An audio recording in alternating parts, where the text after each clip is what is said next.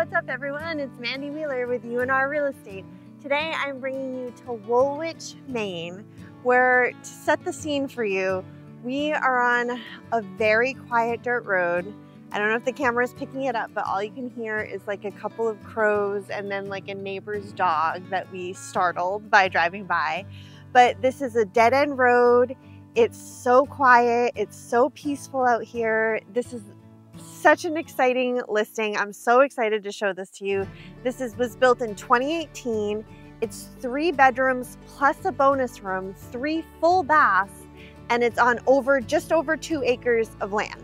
So to come in to get here, you have to pass through this like horse farm and it's so beautiful. We'll, sh we'll show you some pictures of it there's like, you know, these like white picket fences and then you just drive through and there's like horses and you're like coming through and then there's meadows and woods and it's so quiet, it's so peaceful. It's like beautiful rural Maine. And then out here in this little community on this dirt road is this house that is newer. So if you're looking for something that doesn't need a lot of maintenance, you got this newer home that's move-in ready.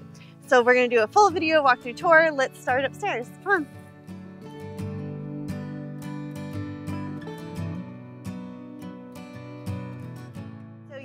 When you walk up the stairs, you're greeted with this open concept living room, dining room, kitchen. One of my favorite things. You've got vaulted ceilings here. Um, it's just a really lovely, big, open, bright space.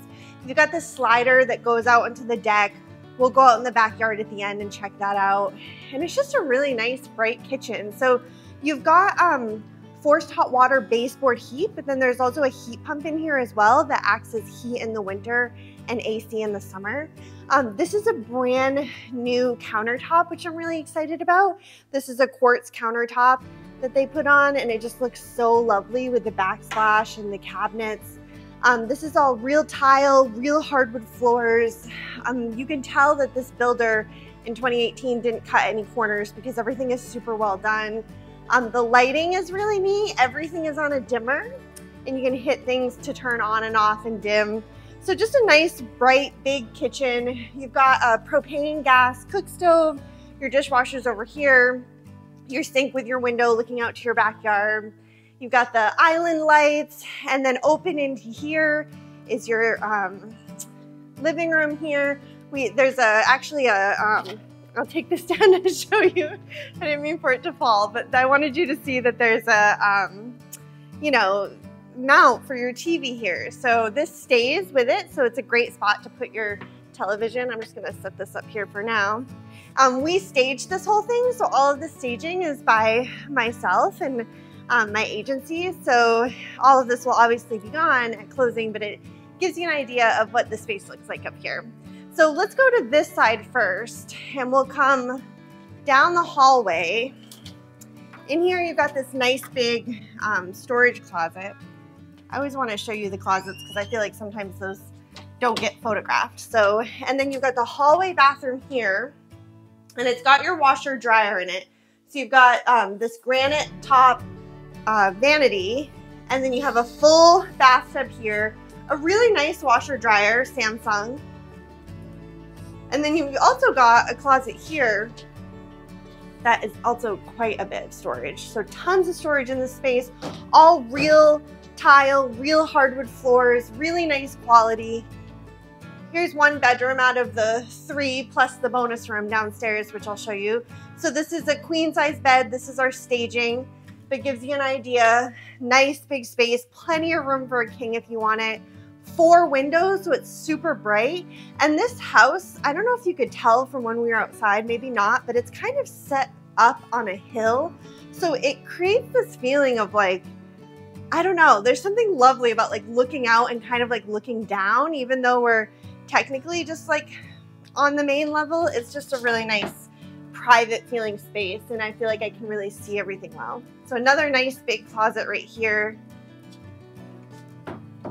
I just love this house. If you're looking for like move-in ready, easy, like good quality, this is it. And then this is the um, second bedroom. I'm showing you the smaller ones first and then we'll go to the big primary suite after. But this is also a queen size bed. It also has three windows in it, so it's really bright. It's got a similar size closet to the other one I just showed you. Really lovely space. They all have fans in them too. And now we'll come down to the other side of the house. I also really love that. So like, I don't know if you have kids or, you know, whatever your situation is, but I like that there's like two bedrooms and a bathroom on one side. And then on the other side, you have like the primary suite with your own bathroom. I just love that feeling of space if you do have like guests staying or children or whatever. So this is the biggest bedroom out of the three up here. Again, queen size bed. We use all queen size beds when we stage. This also has a TV mount in it that stays, so a great spot to put television. If you don't have a TV in your bedroom, it's easy to remove. You got a fan here too, and then you walk through through your um, really big closet, which I'm pretty jealous of, to be honest. Is like a really nice big space to store your clothes if you have a lot of clothes. And then you walk through it, and then you've got a double vanity here, and you've got a full tub, window looking out, and even more storage over there. So just really, whoever designed this, this builder, it's just like really like conveniently built and the layout is really easy to understand. It's just a really sweet spot. Yeah. Okay, let's go downstairs.